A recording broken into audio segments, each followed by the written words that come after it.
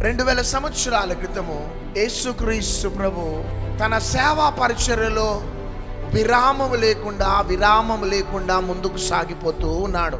వేలాదిగా వేలాదిగా ప్రజలు తన యొక్క సభలకి వస్తున్నారు. అద్భుతాలు స్వస్థతలు సూచక్రియలు మహత్కార్యాలు జరుగుతున్నాయి. అకస్మాత్తుగా శిష్యులతో అంటున్నాడు మనం అద్దరికి వెళ్దాం. హలెలుయా శిష్యులకి అర్థం కావటలే. ఎందుకు అద్దరికి వెళ్దాం? అంటున్నాడు. అర్థం కావటలే. కానీ ఇక అద్దరికి బయలుదేరినారు. సముద్రములో ప్రయాణం అవుతూ వెళ్తూ ఉన్నారు. అకస్మాత్తుగా సముద్రపు పొంగు గాలి తుఫానులు ఆ దోణిని ముంచి వేస్తూ ముంచి వేస్తున్నప్పుడు చాలా రిస్కీ జర్నీ చేస్తున్నారు. ఏసయ్య మంచి నిద్రపోతున్నాడు. ప్రాణాలు గుప్పిట్లో పెట్టుకొని గమ్యానికి చేరుతామా లేదా? ఎందుకు ఇంత రిస్క్ తీసుకుంటున్నాం? ఎందుకు అద్దరిన? ఎవరిని కలవాలనుకు అనుకుంటున్నాడు ఏసయ్య? ఏ గొప్పవాడిని కలవాలనుకుంటున్నాడు ఏసయ్య? మనందరికి తెలియకుండా ఒక పెద్ద సభ అక్కడ ఏర్పాటు చేస్తున్నాడు ఏసయ్య. వేల ప్రజలు వస్తున్నారా? ఎందుకు అద్దరికి వెళ్దామని ఎంత రిస్క్ జర్నీ చేసుకుంటున్నాడు ఏసయ్య?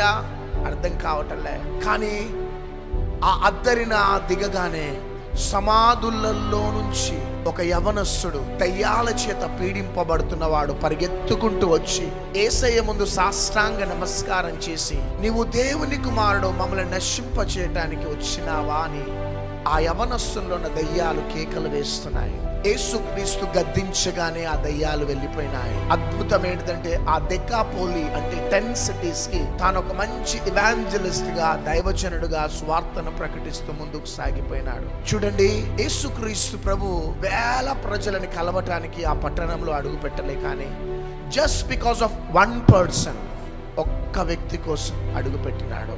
ఈరోజు సహోదరుడు సహోదరి నీ ఒక్కదాని కోసం నీ ఒక్కని కోసం నువ్వు ఏ దేశం నుంచి ఏ రాష్ట్రం నుంచి ఏ పట్టణం నుంచి ఏ పల్లెలో నుంచి కృంగిపోయిన స్థితిలో లేవలేని స్థితిలో నిస్సహాయత స్థితిలో గమ్యం లేని స్థితిలో నీ జీవితంలో ముందుకు సాగుతున్నావు.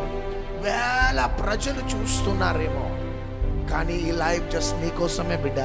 రెండు వేల సంవత్సరాల క్రితం యేసుక్రీస్తు ప్రభా ఒక్క వ్యక్తి కోసం వెళ్ళినట్లు ఈ రాత్రిని ఒక్కదాని కోసం ఒక్కని కోసమే ఎందుకంటే నువ్వు కృంగిపోతూ కృంగిపోతూ కృంగిపోతూ నీ పాదలు ఎవ్వరికి చెప్పుకోలేని స్థితిలో మూలుగుతూ మూలుగుతూ మూలుగుతున్న నీ మూలుగులను చూసి ఏసయ్య నీ గృహంలో అడుగుపెట్టి ఉన్నాడు. ధైర్యం తెచ్చుకో.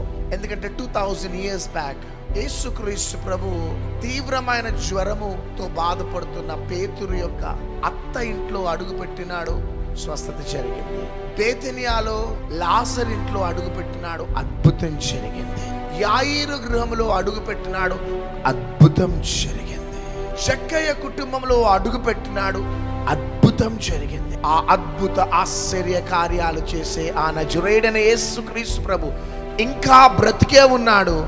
ఈరోజు నీ గృహంలో అడుగు పెట్టబోతున్నాడు ఏ రోగముతో ఏ వ్యాధితో ఏ అస్వస్థతతో ఏ బంధకాలతో పీడింపబడుతున్నా ప్రభు మనకి సమీపంగా ఉన్నాడు. పరిశుధాత్మ తండ్రి ఈరోజు నువ్వు నన్ను దర్శించు.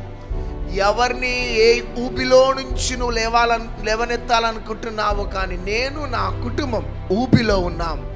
మమ్మల్ని లేవనెత్తని పరిశుద్ధాత్మ దేవునికి మనల్ని మనం సమర్పించుకుందాం.